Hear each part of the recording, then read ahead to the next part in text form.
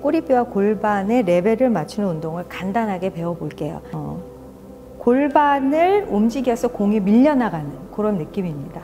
자, 옆에서 보면 허리가 앞으로 밀려나갔다가 다시 허리가 뒤로 C자 모양을 만들 정도로 골반만 움직이는 것이고 겨, 어, 몸통과 다리는 절대 움직이지 않는 것처럼 꽉 붙여주세요. 자, 골반만 움직이는 움직임이 보이시나요? 앞과 뒤쪽으로 움직이면서 좌우를 연결하고 있는 골반은 허리와 다리까지 연결되어 있어서 그 골반의 근육들이 같이 움직이도록 일단 유연성 운동 하는 겁니다. 오른쪽으로 움직이고 왼쪽으로 움직일 때 대개는 그냥 밀어주시는데 미는 것이 아니라 끌어올리는 느낌으로 그렇죠. 골반은 오른쪽을 끌어올리는 느낌으로 그러면 오른쪽 허리 근육이 쫙 수축하는 그런 상태가 되실 거예요. 그리고 반대쪽은 근육이 이완되고 따라서 이 근육은 이 겉에서만 붙어 있는 것이 아니라 속까지 연결되어 있는 근육이라서 골반 안쪽에 근육이 같이 수축하는 효과가 있습니다. 자, 먼저 머리 위로 쭉 한번 올리고 그리고 좌우로 몸통을 스트레칭 할 겁니다. 먼저 그렇죠.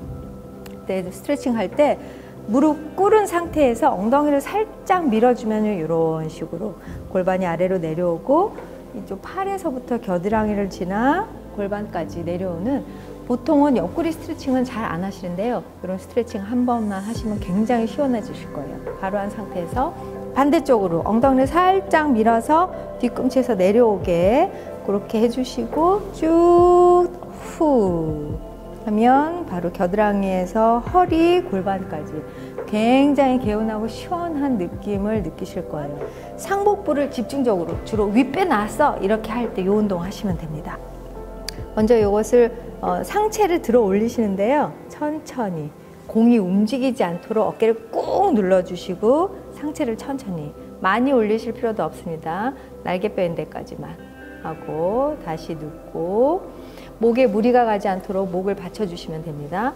상복부를 강하게 수축시키고 천천히 이완시키고 하고 목을 들어 올려서 상복부를 강하게 수축시키고 이때 엉덩이가 떨어지지 않도록 엉덩이 밑쪽에 힘을 꽉 주고 허벅지 힘이 꽉 들어가야 공도 움직이지 않고 다리도 흔들리지 않습니다. 요거 주의하시면서 천천히 다섯 번에서 열 번 정도 반복하시면 굉장히 타이트한 복근을 유지할 수 있습니다. 쭈와 골반 동시에 강화시켜주고 어깨, 팔, 다리까지 엉덩이 근육까지 사용하는 복합 동작이고 제가 굉장히 좋아하는 동작이에요. 어, 공이 흔들리지 않도록 꽉 누르신 상태에서 무릎을 띄어서 그렇죠. 앞발로만 체중을 유지하실 때 무릎도 피고 척추도 일자, 머리까지 전체적으로 옆에서 보면 일자가 쫙 유지될 수 있도록 유지하시면 됩니다. 하나, 둘, 셋, 넷, 다섯 이런 식으로 10초 이상 유지하시면서 몸을 심부 근육을 트레이닝하는 방법입니다. 어, 보시고요.